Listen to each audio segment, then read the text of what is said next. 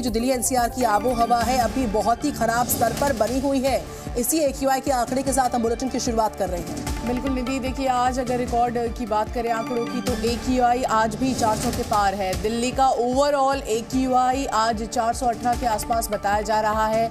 आनंद विहार की अगर हम बात कर ले तो ए क्यू आई तक पहुँच गया है। यानी अभी भी दिल्ली की आबो हवा में कहीं भी साफ़ सफ़ाई नज़र नहीं आ रही, दमघोटू हवा में लोग जी रहे हैं। तो दिल्ली एनसीआर के जो आंकड़े हैं, गाजियाबाद के आंकड़े तीन सौ बयासी एक्यूआई लेवल है तीन सौ छियानवे, फरीदाबाद का एक्यूआई लेवल है तीन सौ पचासी, नोएडा का एक्यूआई लेवल है, यानी प्रदूषण का स्तर थोड़ा सा कम ज़रूर हुआ, लेकिन राहत की इसमें कोई भी जो स्थिति है, नज़र नहीं आ रही है।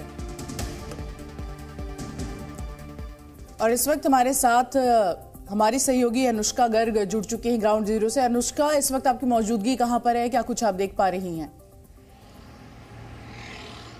बिल्कुल, इस वक्त हमारी मौजूदगी दिल्ली के अक्षरधाम फ्लाईओवर के पास है, जहाँ की एक बार मैं आपको तस्वीर दिखाना चाहूँगी।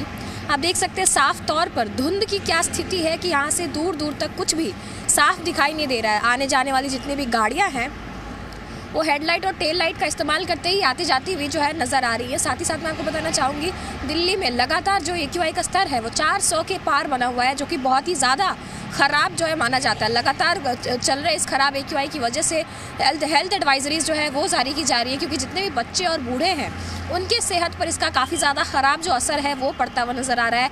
दिवाली का समय आने वाला है, बहुत सारे लोग घर से बाहर निकल रहे हैं, क्योंकि शॉपिंग करनी है, बहुत सारी जो काम होते हैं फेस्टिवल्स के, उसको लेकर के कहीं ना कहीं बाहर निकलना है। लेकिन प्रदूषण की इस हालत को देखते हुए लोग भी कहीं ना कहीं बाहर आने से परहेज कर रहे हैं। लगातार आप अपनी नज़र बनाए रखिएगा। विजिबिलिटी में थोड़ा सा फ़र्क ज़रूर है लेकिन अभी भी जो एक लेवल आई है दिल्ली एनसीआर के वो काफ़ी भयानक हालत पे नज़र आ रहे हैं।